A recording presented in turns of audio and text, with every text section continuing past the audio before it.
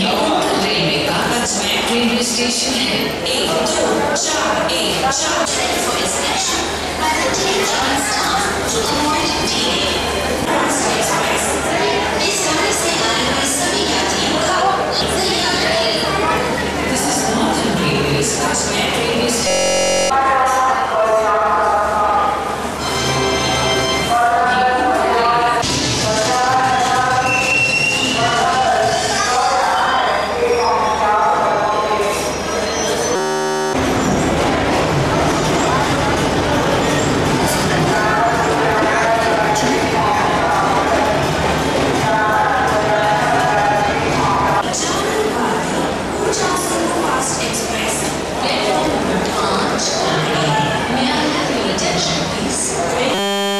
स्वच्छता को लेकर के अजमेर स्टेशन में काफ़ी इम्प्रूवमेंट हुई है, पिछले साल के मुताबिक।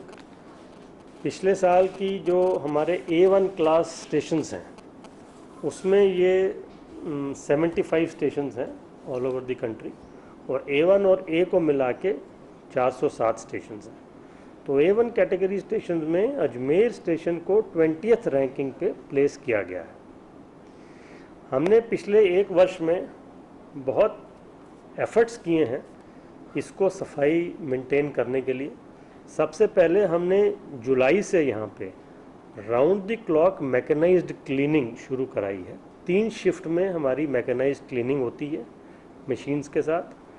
98 स्टाफ है हमारा। 98 स्टाफ है जो इसको दिन रात सफ़ाई करता है। फिर जहाँ हमारे प्लेटफॉर्म सरफेसेस टूटे हुए थे, जहाँ मशीनें चल नहीं चल नहीं सकती थी, उनको हमने रिपेयर करा है। प्लेटफॉर्म चार पाँच खासकर उसकी हालत बहुत ख़राब थी और प्लेटफॉर्म एक जो जीआरपी साइड में है, उसकी हालत बहुत ख़राब थी। तो ये हमने तीनों प्लेटफॉर्म रिपेयर जो है, करवाए हैं, ताकि इनकी मैकेनाइज क्लीनिंग हो सके। इसके बाद ड्रेनेज पूरे यार्ड की इम्प्रूव की गई है। ड्रेन्स जो है, वो चोक्ड चोक्ड वहाँ पे रहती थी। उनसे जो है ये मलबा वगैरह सब बाहर आता था। तो वो हमने पूरा रिपेयर जो है किया। फिर इसके बाद जो स्टाफ की अटेंडेंस होती है, वो बायोमीट्रिक होती है। उसको आके अपना अंगूठा जो है लगाना पड़ता है। उसके बाद ही वो कर सकता है। फिर वाटर की हाइड्रेंट्स जो हैं, उनके डिज़ाइन चेंज हुए हैं। ताकि पानी जब लोग पीते हैं तो पानी बाहर नहीं गिरे उनसे हाइड्रेंट से। उससे जो है सफ़ाई बहुत इम्प्रूव हुई। फिर हमने पेंटिंग्स करवाई। Platform number one concourse area first class gate second class gate सब में हमारी जो राजस्थान की लोकल कला है, उनको दर्शाते हुए पेंटिंग्स कराई हैं। और अजमेर के जो दर्शनीय चीज़ें हैं दरगाह है, ब्रह्मा मंदिर है, सोनी जी की नसिया है, इन सब की पेंटिंग्स भी हमने प्लेटफॉर्म पे करवाई हैं। और जो हमारे नॉन ऑपरेशनल पार्ट्स हैं, जो हम ऑपरेशनल पर्पज़ के लिए यूज़ नहीं कर रहे थे, हमारे एरियाज़ खाली पड़े थे, उस पर हमने पेड़ पेड़ जो है लगवा दिए हैं, खासकर मार्टिनल ब्रिज की साइड में। और पेस्ट और रोडेंट कंट्रोल में भी एक भारी कदम उठाते हुए उसके स्प्रे भी होते हैं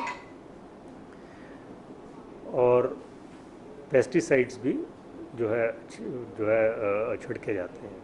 प्लस हम पीएई सिस्टम पे लोगों को अवेयरनेस, हमने तो ये सब एफर्ट्स करी हैं, पर जब तक लोग गंदगी फैलाना बंद नहीं करेंगे, तब तक जो है, इतनी क्लिनलीनेस मेंटेन होना संभव नहीं है।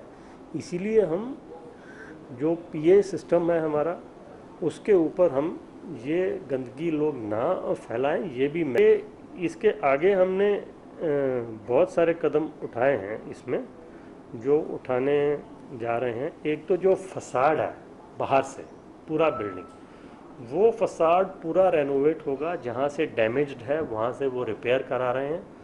और उस पर जो है, जहाँ से वो पोर्शन ऊपर से सीमेंट वगैरह गिर रहा है, वो गन्स के साथ, वो कन हीटिंग गन्स के साथ, वो कंक्रीट करके उसको जो है रिपेयर जो है होगा। उसके बाद पूरा ये रेनोवेट होगा।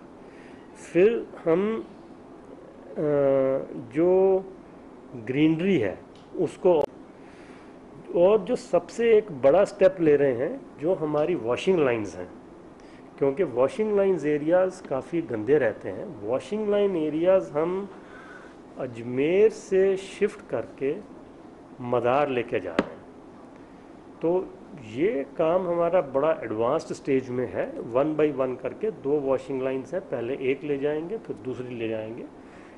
और वहाँ पे जहाँ से ये शिफ्ट करेंगे, वहाँ पे एक प्लेटफॉर्म नया आएगा।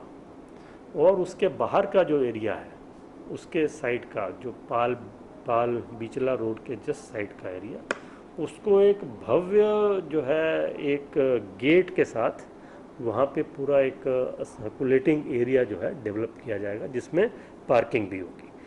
तो ये सब स्टेप्स लेने से एक अजमेर स्टेशन का लुक और ही एक जो है टोटल वो इसमें जो है डिफरेंस हो जाएगा। इसके साथ साथ सुविधाओं के लिए हम एस्केलेटर्स लगा रहे हैं। चार एस्केलेटर्स अगले तीन माह में। हम जून, जुलाई, अगस्त मेरा ख्याल जुलाई तक ही, जुलाई एंड में हम तीन एस्केलेटर्स यहाँ पे चार एस्केलेटर्स यहाँ पे चालू कर देंगे। उससे एक तो सुविधा भी इंक्रीज होगी, दूसरा जो है लुक भी जो है स्टेशन की, वो भी बड़ी इम्प्रूवमेंट होगी उसमें।